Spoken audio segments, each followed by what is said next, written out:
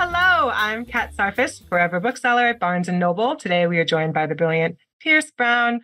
Pierce is the best-selling author of the Red Rising series, which currently contains Red Rising, Golden Sun, Morning Star, Iron Gold, Dark Age, and the much anticipated, and I have it right here.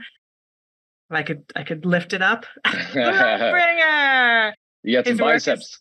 That's true. His work has been published in 34 languages and 36 territories. And if you haven't dived into this extraordinary saga, I'm not quite sure what you're waiting for, but now is the perfect time, right? Thank you so much for being here with us. Oh, thanks for having me, Kat. so, Red Rising, I had to do a little date check. Uh, came out in 2014, which is just kind of like, how does that uh, time is? Yeah. I don't uh, know. I don't even know. So, fusing, we have ancient Greek and Romans with the stars. It's a space opera with all the bloody twists and mm-hmm. betrayal. We've got epic world building, cinematic grandeur, and perfectly paced action to keep you holding your breath to the very last page. And that's just the beginning. Lightbringer, the newest installment, is book six, and it's been on a journey for our dear Darrow. Uh, so let's go back to the beginning. What was your inspiration to embark on this adventure? Well, having read the books, I think you know that there's a lot of inspirations, but I'd say the the ori- original inspiration was the play Antigone by Sophocles. In it, a woman named Antigone is trying to bury her brother, who was a rebel, and uh, the rebels are not to be honored. And if you bury the rebel, um, you're supposed to be uh, executed by the state. And I thought that was uh, it really rang a bell for me. Like it was a 2,500 year old story, um, survived all this time, and um, I started then uh, thinking about it when I was on a hike. Strangely enough, I was doing, uh, I was crazy enough, it was 10 years ago. So I was doing 11 years ago now, actually. And I was doing uh, mountaineering. So I was on, I was on, I was going up and I was just wishing gravity was lighter because it was about like eight hours in. And I started thinking about Mars because you could see the stars so well. And Antigone had been rolling around in my head. And I saw it started conflating the two. And when I got home, I drew on a lot of other inspirations, but that was the initial seed. Um, and I really like went off like a racehorse, electrocuted, just boom, straight into the story. You know, we think about these, uh, call them classics, these these these works that kind of transcend time. What is it about this story? What is it about this this very human struggle that still kind of resonates today? And then I feel like you know, add space and yeah, I think, and you know, my my theory is any form of government we have will have uh, tyranny of some sort. With regards to capitalism, you have tyranny of debt, you know, and uh, with regards to communism, tyranny of the bureaucracy. It seems to be a fairly consistent fact. So you know, my way was exploring exploring that theme, and the, the idea also of Antigone was to draw on Plato's Republic, which is probably my third greatest inspiration, um, which is how I created the caste structure. You know, the ideal form of, uh, of running a city state through democracy, and so it's it's very steeped in the ancient Greeks, I suppose. This book series. Yeah, but I mean, if you look around, I think that that's sort of the, those these mythological retellings. I mean, now at least, I mean, this obviously this was this is mm-hmm. you're starting this idea a while back, but it is it's it's interesting to see sort of this resurgence in in the myths, and then in these sort of retellings and and kind of taking these structures, taking these stories, taking them and kind of you know understanding their very real parallels to modern times. But myths stay myths because they tap into something that is inherently true about humanity or about the world. Mm-hmm and that's why these stories last. It's not because we have any fidelity to Sophocles or, you know, we're all fans of Plato. No, it's because they somehow tap into something that we constantly revisit. That's why we are so attracted to Shakespeare as well, because there's 13 different types of stories to tell, right? And he told them all. Yep. And he told them in a great way. And so there's something that's always we can connect to. I mean, what do we have in common with the 2,500 year old society? Really a lot actually it seems. Yeah things have things have changed and and many things have stayed the same. Uh, mm-hmm.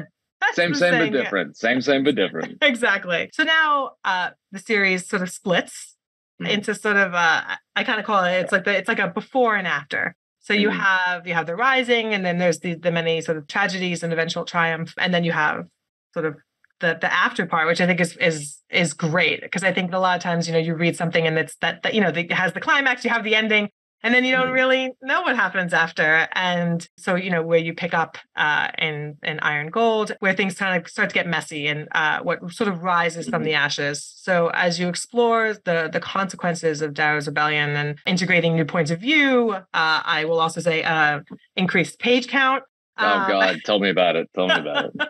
What's been the biggest challenge and the highest reward for sort of going? Uh, getting gray hair through the writing of this series. biggest challenge, yeah. I'd say the biggest challenge is um, uh, the cognitive load of having multiple characters mm-hmm. um, who are all telling the story in first person. I think often when I see stories that have multiple characters, they're in third person or, you know, third person immediate or third person omniscient. And I think that first person makes it very difficult because you have to empathize and change your brain uh, to try to be true to that character. But also, it's the causation.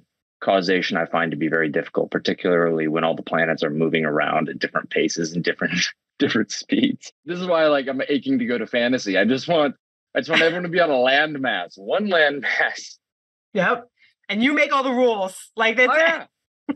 exactly. Yeah. I'm like, because I'll, I'll I'll do something and then I'll be like, oh crap, Mercury is often closer to Earth than Mars is, even though it's two you know two planets away or one planet yes. away through Venus, right? But it's often closer um, because of how fast it orbits. And anyway, that's a ridiculous thing. But I'd say the cognitive load of getting characters certain places. It's uh, often what uh, George R. R. Martin talks about holding him up is how does he get Daenerys Targaryen back from the east while maintaining the storylines of the other characters because yeah. it's a long voyage, right? And that was his what he called his Gordian knot. And so I think that that's probably the most difficult thing. And I forgot the other part of your question. The reward. Ah, the reward. The reward is a more three dimensional view on the world. It feels more mm. real to me than it was just through Darrow's eyes. And there's such an advantage through, I mean, he's a god of war. You know, he's also the main character. So it's hard to kill your main character if he's your narrator, right? And so, like, is it? I feel like people. people have done it, but yes, go on. yeah, people have done it. People have done it uh, to not much approbation. The, the audience sometimes rebels against that. I'd say that it's the ability to have people with different worldviews than the main character, the protagonist, because it allows me as an author to show the reader that Darrow's worldview is not my worldview. Mm-hmm. He's a character, just like all of the other characters are characters. And then seeing how they react to Darrow's actions, how they perceive his triumphs is, like I said, the way of painting a more three dimensional picture but more so this entire latter series. The first three are the archetypal rise of a hero, a mm-hmm. plucky rebellion, yep. you know, a grim plucky rebellion with a lot of gallows humor, but a plucky rebellion nonetheless. And then the books from Iron Gold on four through seven are more of a meditation on the, the, the, the things that Darrow has done. Because we have four POV characters in Iron Gold. One of them's Darrow, our archetypal hero. And then three people who have a bone to pick with Darrow from all from different parts of society. And so it really is an indictment. They all indict Darrow, but the book itself is an exploration of that indictment and to see how their interaction with the world and with his cause stands the test of time and also their own evolution. And so it's my way of exploring the world and also exploring the repercussions of archetypes. And That's really interesting what you were saying about being able to kind of come out and like this is Darrow's, you know, point of view is not my point of view. My next question is is the fans is you know and mm-hmm. the the reception that you get you know when you're in a series and you're this deep and you have so many people who are so committed to it i'm going to talk about your howlers um, for a little bit but also this whole idea of you know tiktok and people getting getting you know rallying around these books and exploring them and dissecting them and it's kind of wonderful to see i mean you know obviously like anything, there's going to be positives and negatives um, mm. to that. But it's really interesting to have the community of readers um, being able to kind of come together. And I, I often say that I envy this, like from when I when I was younger. Like I would have loved to have a community of people to sort of bounce ideas of, of and just kind of being able to talk about this book, talk about the story, talk about you know again you many points of view yeah. um you know and kind of being able to dissect that and and and where these people are coming from and all of that. You have an amazing fan base. And i mean i think that these are people who have kind of you know started at the beginning or maybe they've come you know come in. I'm sure you know you want to give characters the ending they deserve the ending that they you you feel like the story goes. How does that reception when you're in when you have people who are so i think enthusiastic so in you know entrenched in a series does that affect your writing at all Yeah, I'd say it's why the book slowed down. I, am extremely honored to have the fan base. It's they're mm. wild, wacky, and come from all ends of the political spectrum. I think that it is one of the more beautiful things with mm-hmm. the, the, book reading community these days. And I also would have loved to have that when I was younger, but at the same time, would I have then had needed the catharsis of creating characters? There are so many good things about having such an avid fan base like that, but I do feel as though if you read or partake or lurk in that fan base, you know, if, if I'm going onto the Reddit, if I'm going into the discords, I I can't do it except uh, sparingly, and I have to do it like announcing of there. I can't I can't read from the sidelines because you get haunted by critiques. I mean, how many mm-hmm. uh how many compliments have you forgotten in your life? Oh, how many uh how many insults have you forgotten? None. None. None. None. And and writers are inherently sensitive creatures, right? We're empathetic. It's empathetic. It's empathy that allows us to go into the minds of other characters and explore these things because we're curious. And so there's a greater sensitivity there. So I think you have to be really wary about that. You know, there I talked about the cognitive load of slowing that slowed down the series, um, but also you know the expectations. You don't want to violate the earlier books and the love of those earlier books by changing and by ruining them. But at the same time, there's I have no interest in repeating something I've done before. Mm-hmm. So you kind of got to reinvent the wheel each time without making it from a different substance, right? So it's like, yeah. how do you surprise the reader without violating that early contract? You know, right? And the fury that if you violate that contract is apocalyptic. So yes. it's just the nature of fans because you love it so much. So the yeah. nature of passion is vitriol. Um, so it's something to be very wary of. So I'm very conscious of it. But at the same time, if you democratize creativity, you homogenize it. So I can't listen to the fans. I can't give them what they think they want. Mm-hmm. And, and it's not that I'm superior. It's not that I know better. It's that it's my story. And yeah. so I can't listen to it whatsoever. Because if I do that, it's going to feel different. Yeah. And that's not something I'm smart enough to balance of listening and then making it and tricking people into thinking that it was my idea. It has to be my idea. Otherwise, it's going to feel different.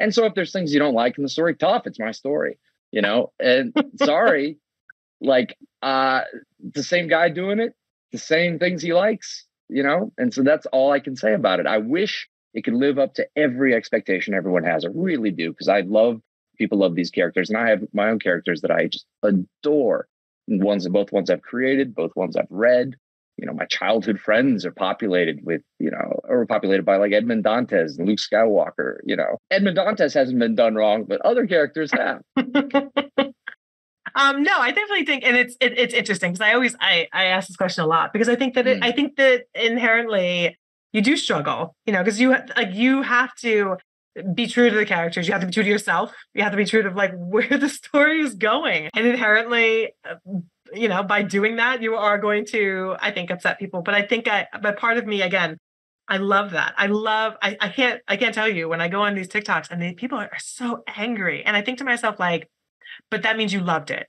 Because yeah. if you're this crazy, if this passionate, throwing books across, you know, like screaming from the rooftops, you finished it. Like you, mm-hmm. so mm-hmm. Um, and like you're coming back to it. So it's like obviously mm-hmm. it struck a chord, and that's honestly I think the work that you and so many um, amazing fantasy writers today are doing so beautifully is striking those chords mm-hmm. and sort of you know setting that tone and love, evoking love, that. yeah, love does not mean pleasing someone all the nope. time. Yes. Are are we attracted to people that are needy and want to please us all the time? No, no. Yeah. We want pushback. Yeah. We want the, the hard moments. Really, it's because where its respect comes from and differences and stuff something's always pleasing you. You know, nobody wants to. I mean, it, it's like the idea of like having a yes person. Nobody really wants to be told. Nobody, nobody really. I mean, very, very quickly, very quickly. Yeah. Well, people look at it, look at it in relationships. What people say they want is not what they're attracted to. Oh no, really. No, no. And see, it all comes full circle. I feel like we're in this, and I, I talk about this a lot, um, particularly like in house. I, I, do kind of feel like we're in this this like amazing golden age of fantasy and like mm. sci-fi. Mm. Like it's just mm-hmm. there's so much, you know, there's there's so many things that are being written that are just it's just amazing. And to see like, you know, authors building on other on other things that have been done, creating new worlds, like for me, where fantasy has always been, you know, and sci-fi and fantasy has always been a safe place. It's kind of it's it's so encouraging to see just other communities look at, and, and I kind of do see, you know, this this this sort of shift in in science fiction and fantasy where it is this sort of home for maybe i mean it's i think it's always been a home for the outsiders but also a home for like the lgbtqia community mm-hmm. and you know kind of seeing this really safe space. And i like to i also love to talk about this because i always think to myself like what is it? What is it about fantasy? What is it about science fiction? And i feel like i've gotten answers where it's like well you know you can use it as like a a metaphor to kind of talk about struggles you know and or you can use it to create a universe in which you want to live in you know in a world mm-hmm. where you want to live in. So i think you've done you've done a little bit of a and b and yeah a little bit of a and b. So um but why do you think why do you think like this has become you know this sort of and i hate to you know talk about genre in this way but that these that these books how what they mean to sort of the the other? I think it's the idea of worlds where the acceptance of people who are different, perhaps mm-hmm. like LGBTQ or women, it's a different baseline. It's not the difference that is often focused on. So, for instance, in my books, I focus on the caste system, the eye colors, being representative of the myriad different myriad differences that uh, uh, humans have used to judge each other throughout time. It's not meant to stand in for uh, sexuality. It's not meant to stand in for race. It's meant to stand in for difference. Yeah. So I think it's the concept of a different baseline. So the subject one can be talked about without people counter arguing based on their conceptions in this world, right? Because our egos are very much involved in this world. So when someone gives you a viewpoint you disagree with, you have an identity crisis. It yeah. really is existential. And so people's political leanings are far less likely to change in this world than they are to sympathize with the Rebel Alliance, perhaps in Star Wars. And so I think one, you come in without your armor. Yeah. Two, I think that women, LGBTQ, people who have been disenfranchised or gate kept for millennia, while their sexual orientation or their gender might be an intrinsic part of who they are, it is not all who they are. Mm-hmm. And so in our world, it's hard to sometimes get past someone prejudging you and making that your entire identity. I think it's the fantastical worlds, the science fiction worlds offer a place where they can explore all the other parts through characters who are judged based on other things, the other aspects of their character. They're literally the 99.9% of who they are. Exactly. As as opposed to the label, right? Mm-hmm. And so it's it's wish fulfillment. Wish fulfillment is often misunderstood. It's it's not meant really as the audience wish fulfillment. That's like a Hollywood notion uh, that has kind of like popped in popular consciousness. It's really about uh, the wish fulfillment of the main character. So the main character getting to fulfill their wish, like Harry Potter getting to leave this ordinary life and be exceptional. Luke Skywalker to fly amongst the stars and be a warrior like his father, Jedi Knight like his father. That's wish fulfillment. It's best when it matches up with the audience. And so I think science fiction and fantasy, particularly, with as many uh, female and LGBTQ writers that we have now, are able to pair up really well with that community. And also progressive writers who are like like my generation, which is like my default is much different. My baseline is much different than the baby boomer generation, for instance. And so we're writing sci-fi in a different way because we're taking things for granted. We're not focusing on these like really kind of banal allegories that are very yeah. transparent. We're not preaching our political opinions as so much as we're just creating the world that we think makes sense you know no that's yeah. beautiful and that is i think that is the vibe that is definitely you know, you, yeah. you know when bo- boomers try to be woke and like just watch like the new sex in the city like my god like it is the most cringy thing i've ever seen in my life yeah. And it's be- it's because they're like fetishizing race. They're fetishizing people's orientation. And then they're wearing it as a badge of honor. The whole point is to not treat people differently. Not to yes. And I think that is something where again it can um that you know I and I think I love seeing it in this in this space where it's like it is just we can create this world. We can kind of just live in it and we yeah. can sort of be more than one thing. Um, and I love it. I personally, I can't, I can't tell you, I can't say enough um, how much I love that the science fiction world, the mm-hmm. fantasy world has become this safe space because I feel like mm-hmm. it definitely wasn't always the safe space. I think it's just really amazing to see. And it's just um it's just a great time. It's a great time to be reading science fiction fantasy. So you've expanded the Red mm. Rising uh, universe with a prequel in the Sons of Ares graphic mm-hmm. novels. Graphic novels are also my thing, so I got to I have to I had to give a little shout out. Um, it's a fabulous collaboration and sort of adds more to the the, the canon of your of your story of these novels. Mm-hmm. What made you jump over to the sort of comic uh, medium to explore these stories specifically? Was there anything where you know because I mean they could have been they could you could have done prequel novels, but you didn't. Yeah, if I do prequel novels, I want to do it in a very intentional way and have my complete focus. I mean, the difficulty is is brain power. You know, you, I, I'm a very singular individual. I'm a choo choo train, just goes one direction. And so graphic novels were a way for me to explore uh, because it's such a collaborative effort. Mm-hmm. It's a way for me to explore. I wanted to see Fitchner, uh, his his story, and I also didn't want to uh, explore territory that I might want to explore later on. Like I don't mm-hmm. want to write a book about Fitchner, uh, but I thought that it was a very fun kind of mythic. There's something very mythic and heroic about the graphic novel medium. Obviously, we explore our own demigods in the form of superheroes, and so I wanted to explore the demigod in the Red Rising world, Ares, in the same medium. It's as simple as that. Nice. It's it, it seemed to be the medium that would fit that story the best, and it's a mythic mythic uh, origin that is somewhat uncannily similar to Darrow's, and also with the collaboration, I was able to have other people help pull the wagon, as opposed to me really getting it getting in there, and that um, that was a lot of fun, but a uh, very different experience. I love different mediums. And I think when you can come to a universe, when you can come to a world, and you can, as I think that a lot of us, um, to me, I look at like graphic novels, like a con- it's mm. just it's the same as like audiobooks. Like some people want mm-hmm. to how how do you want to how do you want to like a, take in your content? Um, mm-hmm. Do you want to listen to it? Do you want to, is that how, what excites you? Do you want to sort of visualize it? Do you need it visualized? Or again, can you visualize, like, is it that I want to visualize it myself that like, mm-hmm. I'm going to do, I'm going to do that.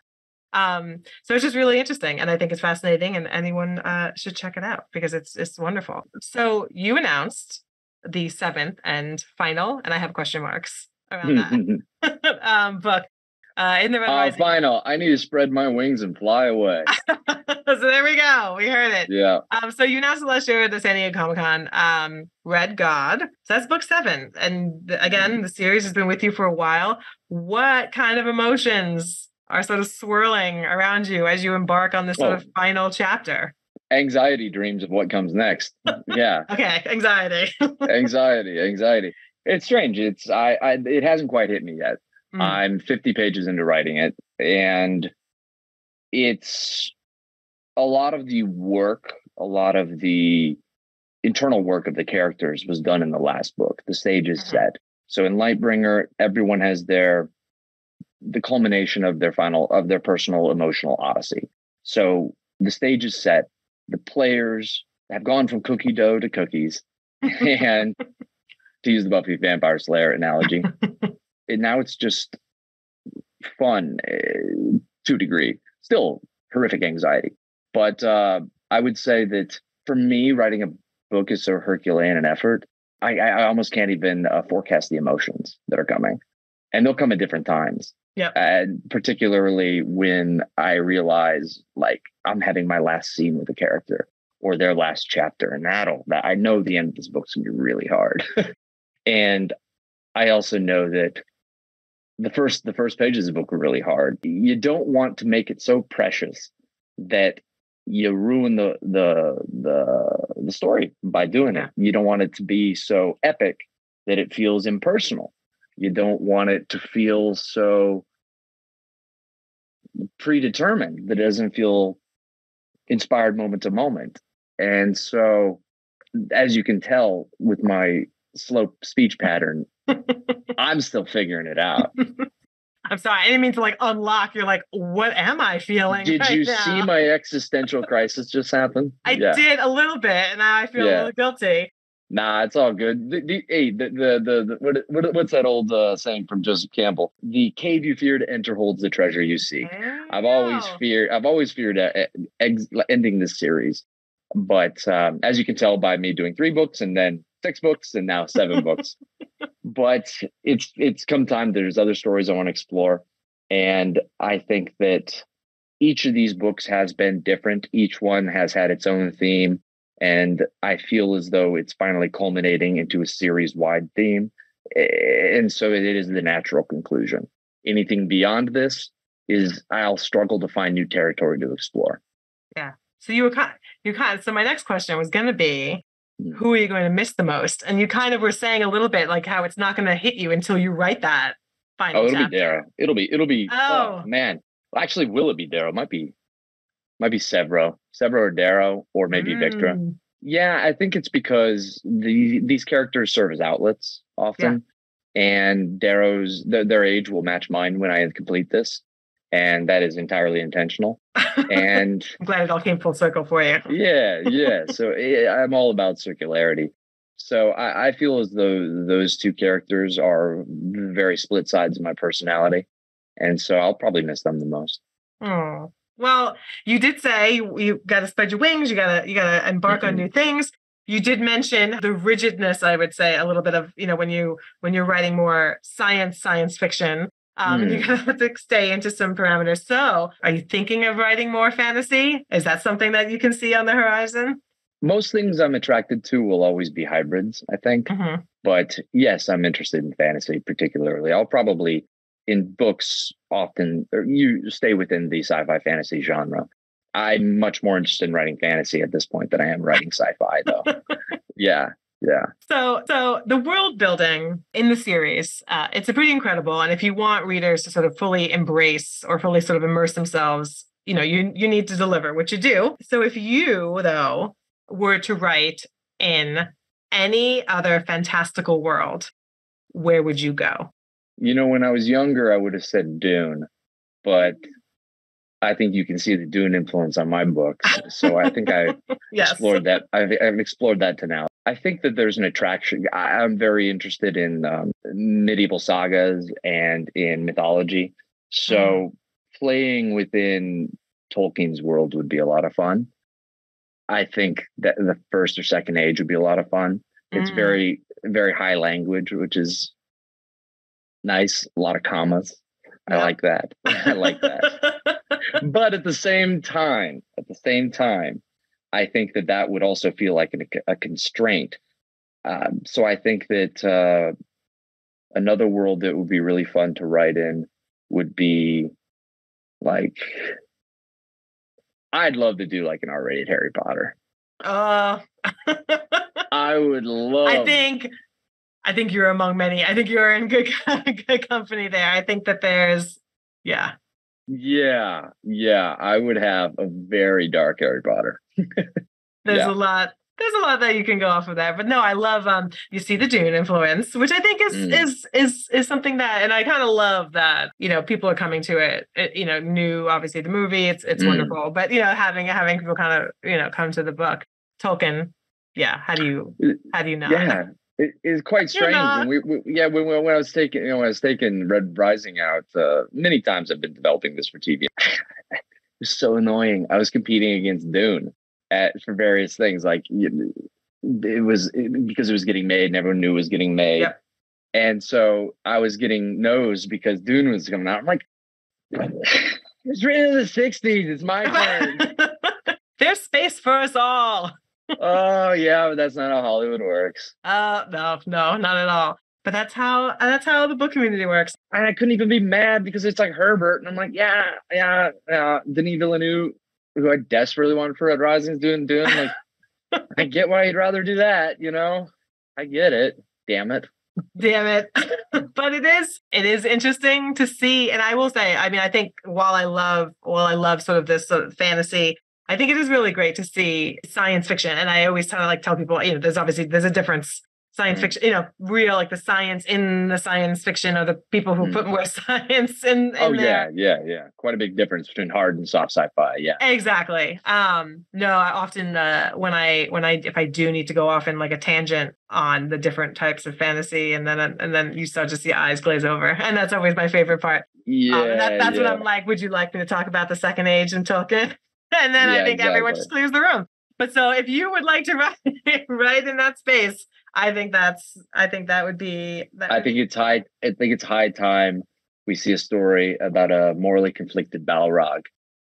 You know, he has all this dark power, this dark energy. His heart is made out of flame. He is a furnace inside, a furnace within burns. But he's just would way rather sculpt mountains into the effigy, the effigies of people from the, the the first stage, and he doesn't really want to go to war anymore. He's tired of Morgoth. He's just not that invested.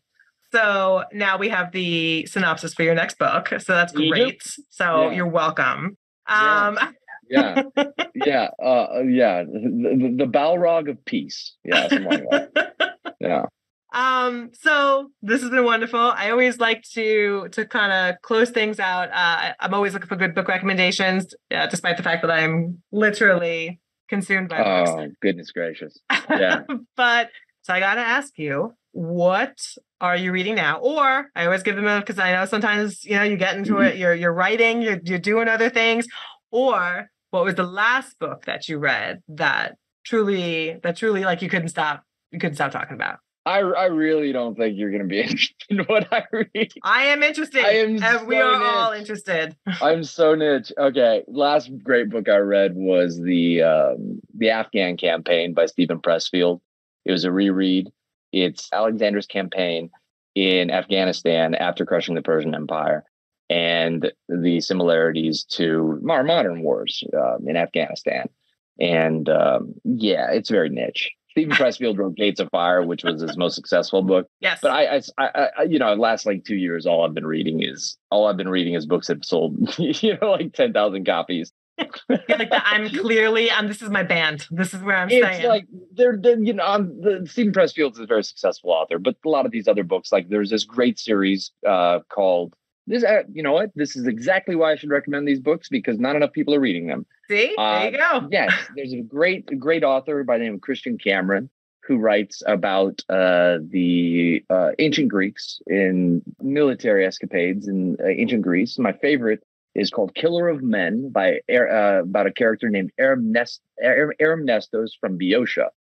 Back in the Battle of Marathon, way back when we're talking like 490s, 490s BC, people. When the first Persian invasion came, not the one in, uh, yeah, no, not the one in 300, the one before that.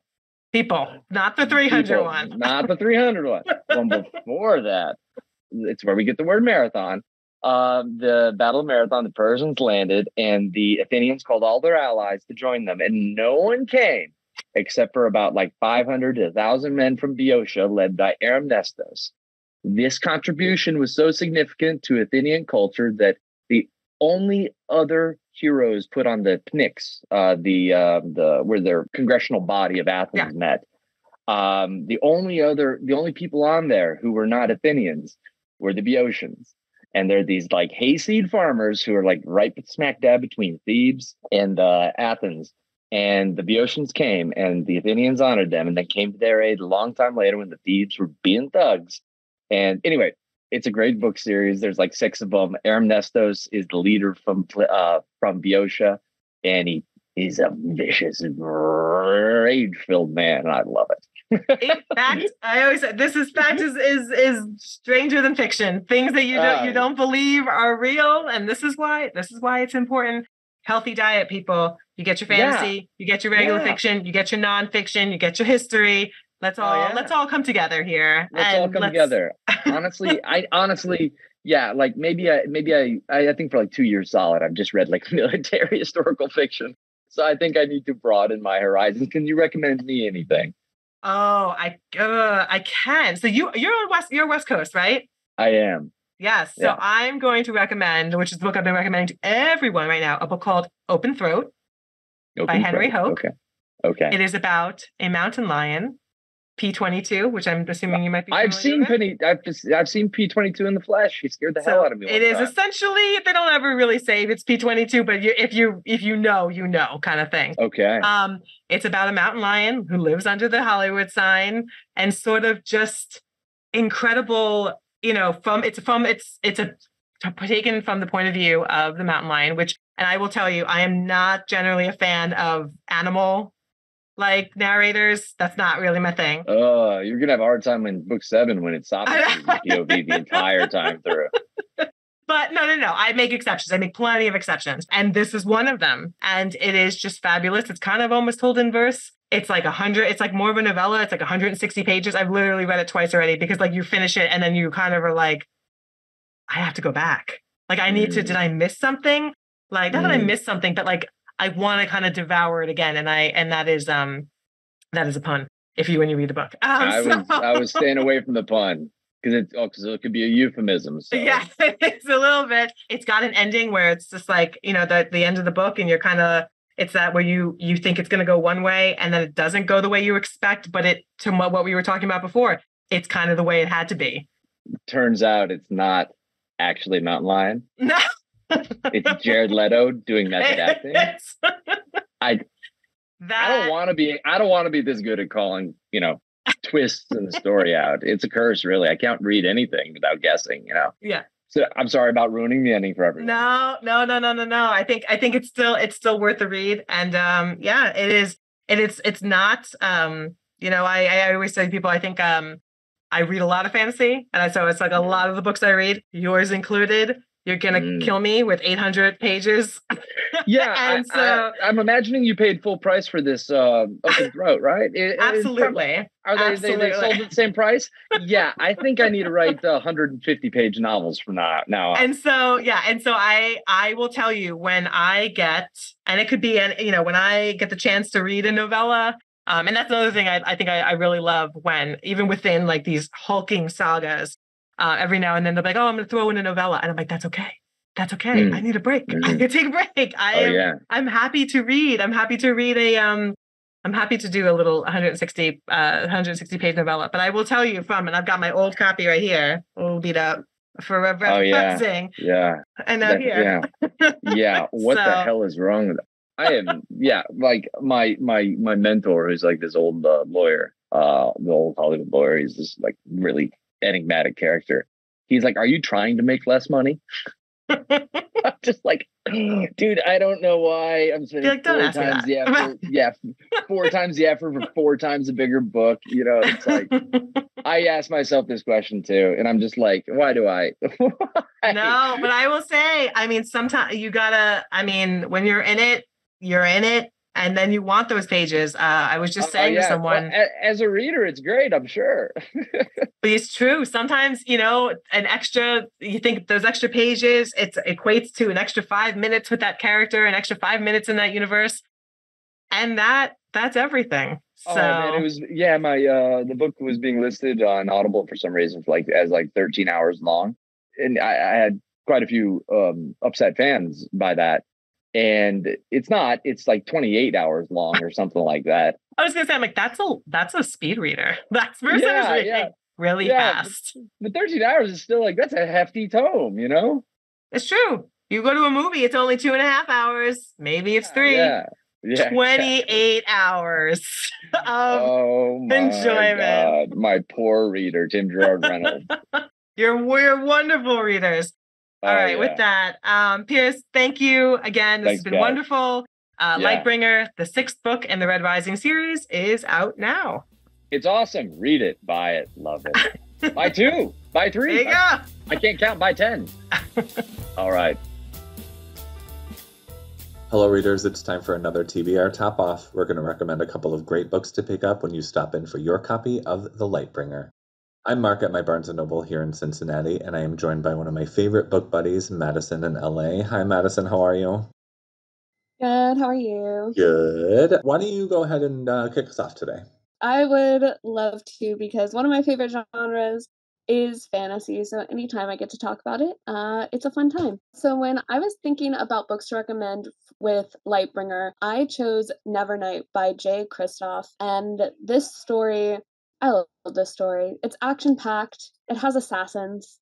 It's always a good time when assassins are involved. So, this story follows a girl, Mia, who joins a school of assassins to seek vengeance against the powers that killed her father during a failed rebellion. So, through this, Mia she barely escaped her father's failed rebellion with her life, and now she is kind of in hiding kind of finding her own because she's being sought after by not only the Senate, but also her father's friends. So she's kind of getting people wanting to kill her from both sides. So she has no real place she can go. But her talent is that she can speak to shadows, and these shadows lead her to the door of a retired killer, which then furthers the plot into this assassin school. And she's thrown in with the deadliest assassins of her generation. And she has to best them in not only stealing, but poisons,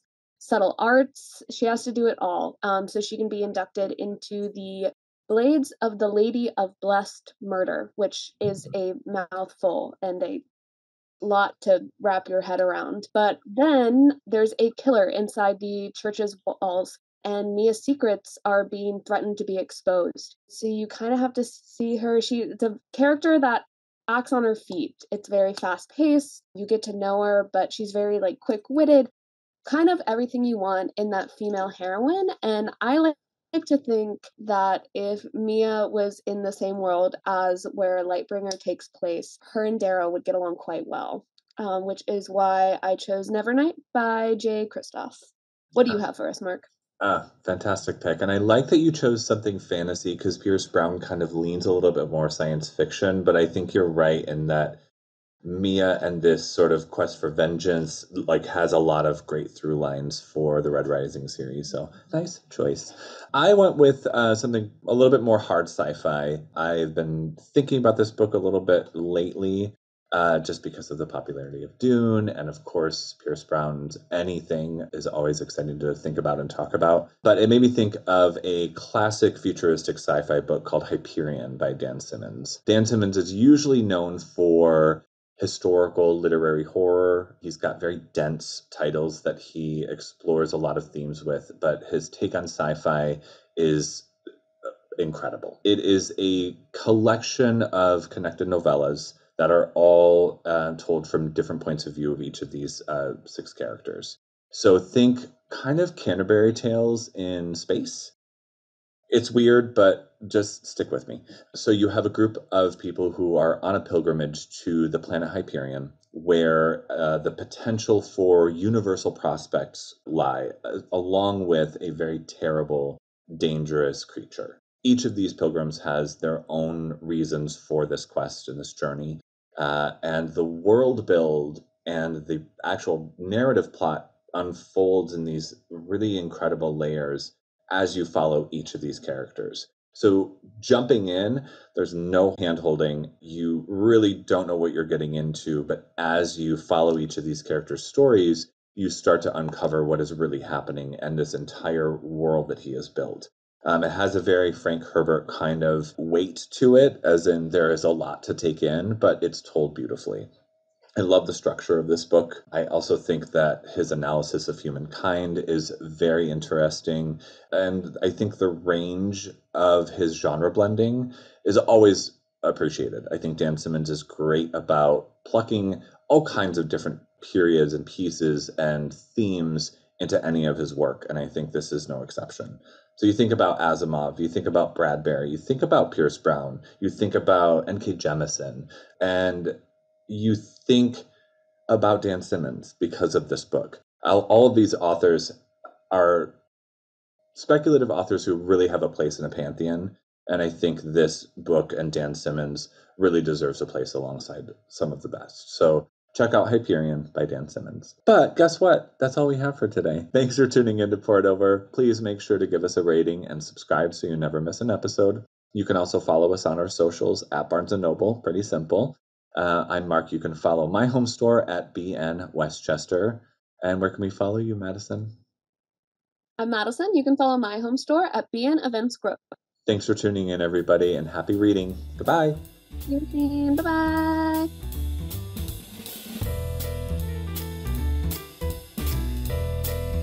Thank you for listening. Poured Over is a Barnes & Noble production. To help other readers find us, please rate and review the show wherever you listen to podcasts.